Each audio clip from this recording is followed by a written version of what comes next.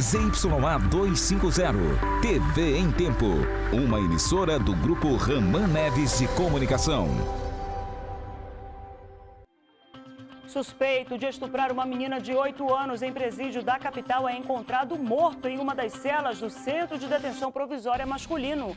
No segundo dia de julgamento do narcotraficante João Branco, ausência de testemunha de defesa causa confusão no Fórum Enoque Reis.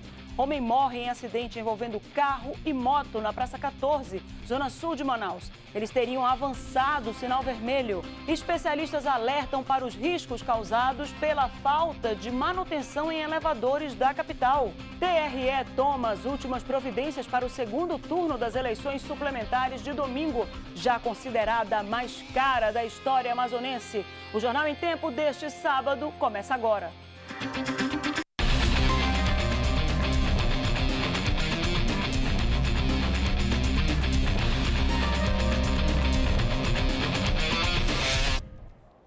Olá, boa noite.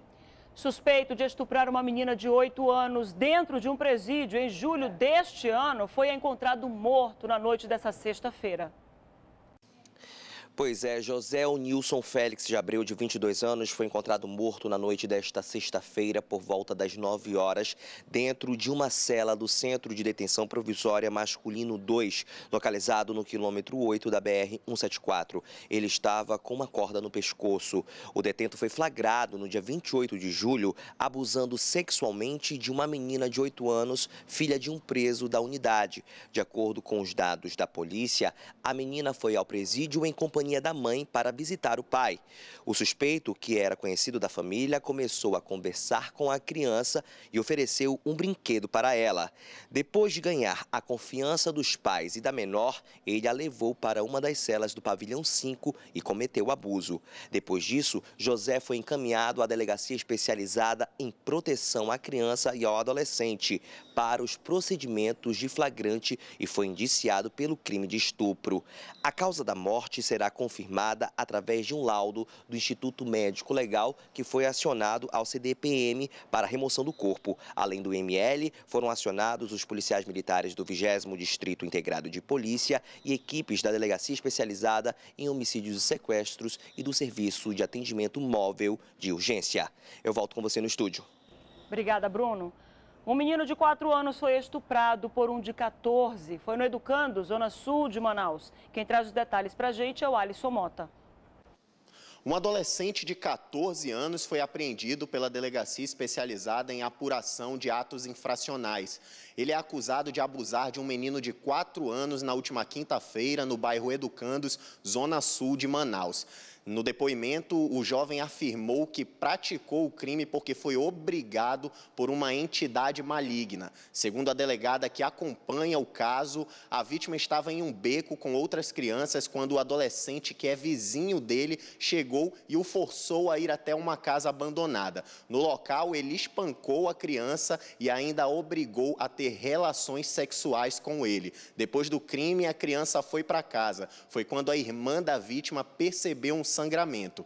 A família só teve conhecimento do estupro porque as crianças que estavam com a vítima no beco informaram que ele teria sido levado por um jovem. A polícia foi acionada e fez o transporte do infrator até a delegacia. Eu volto com você ao estúdio. Obrigada, Alisson. Homens são presos depois de fazerem arrastões na Zona Leste. Motorista é executado com um tiro na nuca, no Aleixo, zona centro-sul da cidade. Vamos ao nosso resumo de notícias. E na noite dessa sexta-feira, dois homens foram presos depois de promoverem um arrastão na zona leste de Manaus. De acordo com a polícia, os bandidos renderam e esfaquearam um taxista no Coroado. Em seguida, com o carro da vítima, eles foram até o Jorge Teixeira praticar assaltos, mas acabaram sendo presos por policiais militares. A dupla foi levada ao 14º Distrito Integrado de Polícia, onde foi autuada. E na madrugada de hoje, o motorista Fábio da Silva, de 27 anos, foi executado em frente aos amigos dele em um bar no Aleixo, zona centro-sul de Manaus. De acordo com testemunhas, o motorista estava em pé quando dois homens chegaram ao bar. Um deles se aproximou e deu um tiro na nuca de Fábio. Ele chegou a ser levado ao pronto-socorro 28 de agosto pelos amigos, mas morreu minutos depois de dar entrada na unidade. A família do motorista afirmou que Fábio não tinha envolvimento em crimes. O caso deve ser investigado pela delegacia especializada em homicídios e sequestros. O ex-prefeito de Itamaraty e atual presidente da Associação dos Municípios do Amazonas, João Campelo, e outros passageiros de um voo doméstico que ia para Itamaraty foram detidos pela Polícia Federal na tarde dessa sexta-feira no Aeroclube de Manaus. A suspeita é que o voo transportaria uma grande quantia em dinheiro, possivelmente utilizada na compra de votos no interior do estado. A informação sobre a apreensão do dinheiro não foi confirmada pelos federais. José Campelo foi liberado depois de ouvido na sede do órgão. Ele chegou a falar com a imprensa e disse que tudo não passou de um mal entendido. Ele informou que a mercadoria transportada no voo se tratava de material hospitalar e medicamentos. O segundo dia de julgamento dos envolvidos na morte do delegado Oscar Cardoso foi marcado por confusão.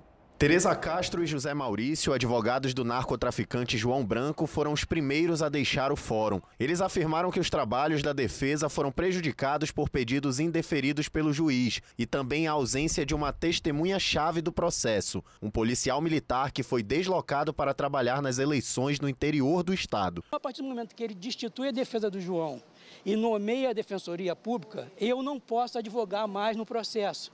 Mas posso, no, e ele sendo assistido pela Defensoria, no dia que for designado uma nova data, quando João Pinto for julgado, e ele disser quem é o advogado, ele vai dizer que o advogado sou eu, eu venho, assumo a tribuna e faço o julgamento. Por abandonar os processos, os advogados foram multados em 100 salários mínimos cada. Depois disso, o defensor público Wilson Mar de Deus, defensor de Messias Sodré, também abandonou o julgamento pelo mesmo motivo. Diante de toda a confusão, os réus Marco Pará e Diego Bruno decidiram desconstituir os advogados deles. Os advogados do quinto réu, Mário Tabatinga, apontado como empresário que vendeu o carro usado na morte do delegado, permaneceram permaneceram no caso. Vivemos um ambiente de terror no sistema carcerário do Amazonas.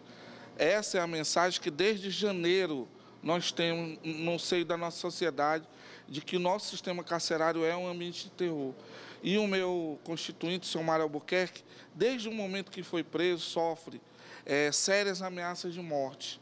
Durante o julgamento, a promotoria acusou o empresário de ter ligação com João Branco, mas a defesa negou a questão do, do, João Branco é que ele falou em interrogatório, ele não nega, que ele tinha negócio de automóveis com a esposa do, do João Branco, a dona Sheila, que é pivô né, de todo esse caso que nos traz esse julgamento, diante do estupro sofrido, diante das violências sofridas. Os quatro réus terão dez dias para constituir novos advogados. A audiência continuou apenas para Mário Trindade. A defesa de João Branco deve entrar com um pedido para que o processo dele seja julgado separado dos outros quatro réus.